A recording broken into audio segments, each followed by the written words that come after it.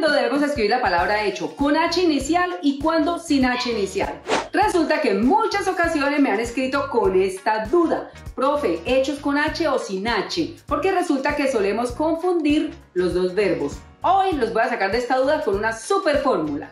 La fórmula es la siguiente. Tenemos el verbo echar sin H inicial y el verbo hacer con H inicial. Entonces, ¿qué sucede? Pero antes, ¿ya se suscribieron a mi canal? ¿No? Entonces voy a esperar. ¿Ya? Listo. La fórmula es la siguiente. La palabra hecho con H inicial es el participio del verbo hacer. ¿Qué es un participio? Es una acción que puede ser concluida o no concluida. Por ejemplo, ya he hecho ejercicio o no he hecho ejercicio. Fijémonos que esto se refiere a una acción que está concluida o no concluida. Este es el participio del verbo hacer. ¿Cuál es la fórmula, profe?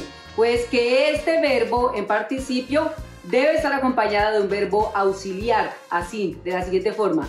Verbo haber, por ejemplo, he, verbo haber más hecho con H inicial. Ha hecho, he hecho, hemos hecho, etc. Este hecho con H inicial lo vamos a usar acompañando a un verbo auxiliar haber.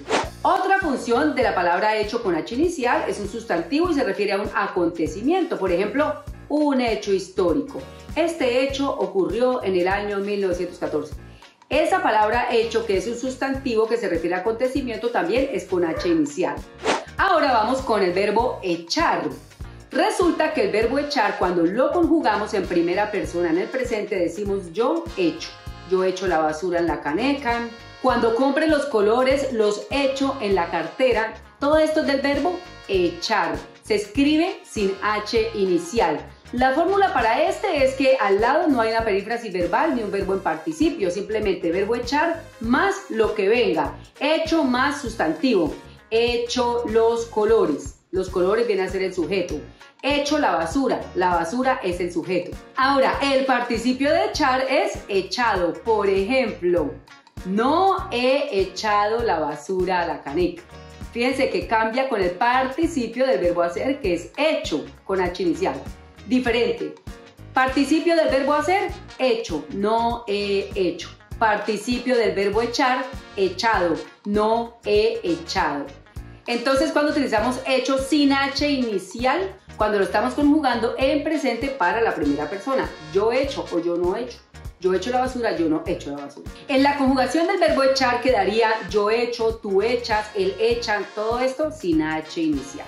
En el pasado, yo eché, yo eché la basura, tú echaste sin H inicial, él o ella echó sin H inicial.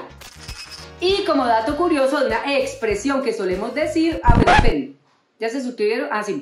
Este tema y otros temas hacen parte de un super curso de ortografía que les dejo en la descripción de este video para que no se lo pierdan. Hay una expresión que solemos utilizar que es de hecho y cuando decimos de hecho es porque queremos reafirmar lo anteriormente dicho, ¿cierto? De hecho, hoy estamos aprendiendo ortografía. Todos los días miro los videos de la profe Mónica. De hecho, hoy estoy aprendiendo también. De hecho, se escribe con H inicial porque se refiere al participio del verbo hacer. Vamos a buscar un ejemplo mientras los perritos ladran un ejemplo usando los dos hechos o más. Por ejemplo, todos los días echo la basura, todos los días echo la basura en la caneca de la cocina. De hecho, hoy también. no. María Chucena te echaba su choza. Un techador que por allí pasaba le digo a María Chucena, ni techo ni choza ni techo la ajena, ni techo ni choza ni techo la ajena porque techo la choza de María Chucena. Díganlo, díganlo, era que ustedes van a decir chocha. Yo sí digo choza. Mire, mire, mire, mire.